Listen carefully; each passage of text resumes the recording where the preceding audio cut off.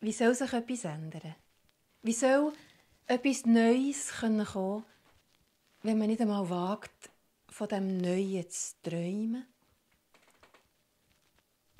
Wo kommt wir hin?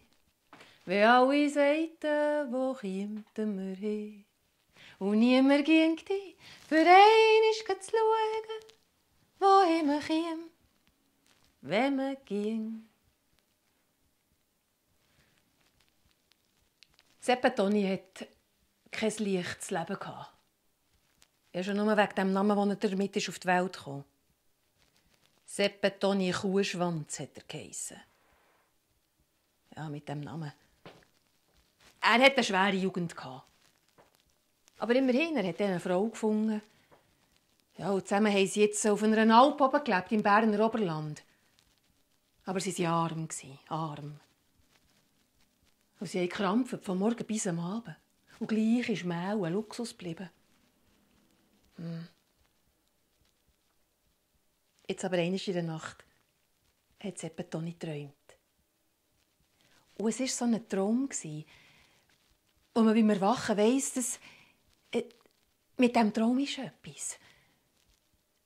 Und so hat er beim Morgen zu seiner Frau gesagt, «Du, ich habe geträumt letzte Nacht.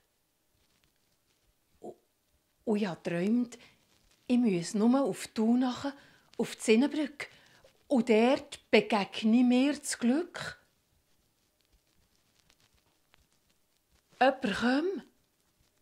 Und nachher, Frau, wird alles gut. Gell, Frau? Es wäre auch das Beste, ich ging die heute grad, ich ging die heute grad auf Thun runter. Die Frau hat ihn lange angeschaut. Dann hat sie gesagt, das würde noch so passen. Ein Tag frei. Nichts da. Du bleibst mir hier.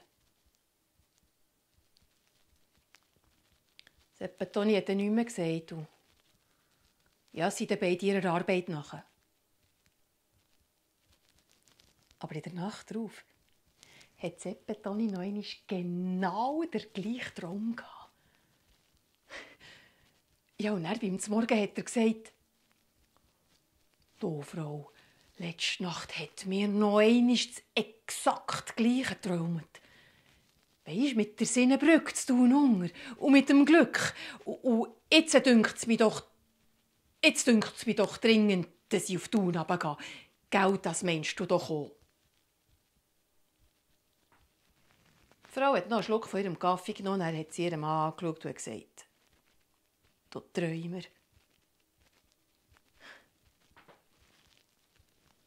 Ich muss hier nicht alles alleine machen. Träum du beim Arbeiten.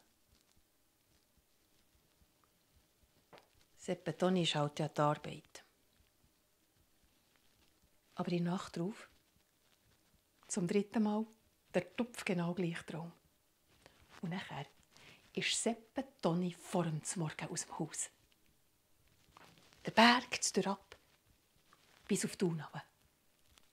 Und dort ist er mit auf die Zinnenbrücke gestanden. Parat für das Glück. Ja, dann hat er jeden, der über die Brücke gelaufen ist, erwartungsvoll angeschaut. E, jede aber die meisten haben ihn gar nicht beachtet oder die haben ihm freundlich zugenickt. Aber Seppetoni hat nicht aufgehört. Er hat gewartet. Gegen Mittag hat er dann auf einmal sein bisschen Brot gegessen und sein bisschen Käse. Ja, er war sich schon nicht mehr so ganz sicher, ob er das Richtige macht. Aber er hat sich gesagt, jetzt, wo ich schon mal hier bin, bleibe ich, bis die Sonne untergeht.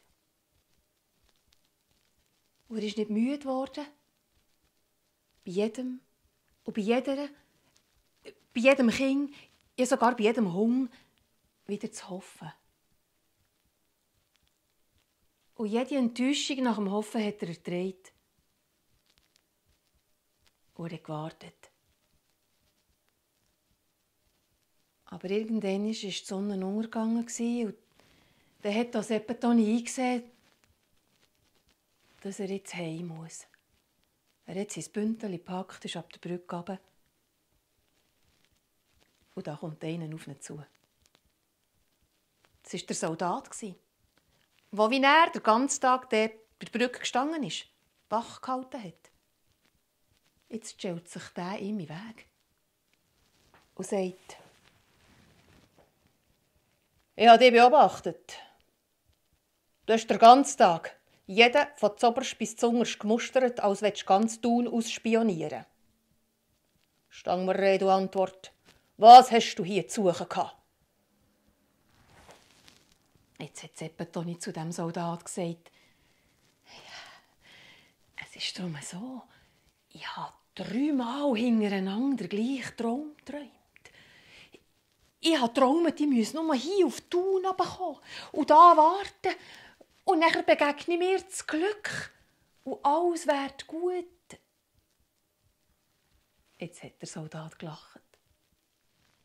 Ja, mir geht's teuer, wenn da jeder seinen Träumen nachging. Ja, ich träume schon seit Jahren gäng wieder den gleichen Traum von so einem komischen Keib, der irgendwo in den Bergen oben lebt und bei dem in der Küche direkt vor dem Ofen im Boden innen sind Kisten voll Gold vergraben. Aber wegen dem, wegen dem kann ich auch nicht das ganze Oberland nach einem Seppentoni Kuhschwanz absuchen. Und überhaupt, wer heisst schon so? Am Seppentoni ist der Kiefer runter. Die Augen sind ihm fast aus dem Kopf gefallen. Und er hat er gerufen, «Merci! Merci!» Und er ist auf und davon, «Was gibst, was hast du heimzu?» Als er endlich daheim ist angekommen, war es schon feister und die Frau schon im Bett. Aber Seppentoni hat die Schaufel geholt und hat bei sich in der Küche vor dem Ofen gegrabt. Und er hat es gefunden. Das Gold. Eine ganze Kiste voll. Und so ist es gekommen, dass Seppe Toni Kuhschwanz vielleicht gerade, weil er mit dem Namen ist auf die Welt kam, das Glück gefunden hat. Wo kommt wir hin? Wenn alle sagten, wo kämen wir hin? Und niemand ging dich für einmal zu schauen, wohin wir kämen, wenn man ging.